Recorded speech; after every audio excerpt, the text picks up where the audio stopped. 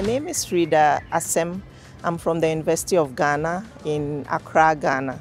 And my research focus is on horticultural value chains with um, specific interest in um, horticulture.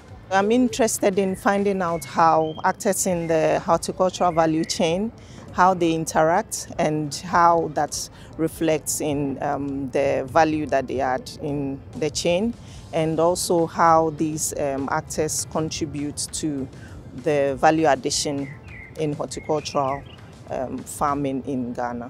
Before the summer school, we had a symposium in Pretoria, and so my expectations of this summer school is to was to continue the networking that we started in Pretoria, and also to meet um, in my triad, um, all three of us in person, discussing ideas, uh, future collaborations, um, future research in different areas. So it's been very great and I, get, I got to meet my um, elite mentor and in person and which, which was great even though our fellow wasn't able to come but we've had interesting discussions. I really enjoyed the sessions on informing and influencing policy.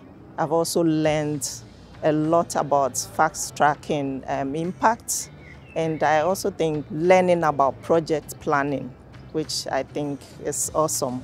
This collaboration or this fellowship program has been very um, instrumental in bringing people from diverse um, backgrounds to help in promoting and improving the agricultural value chains, especially the agri-food systems in Africa, and to come up with um, findings and recommendations that would influence policy. So for me, that is why it's very important. Yes.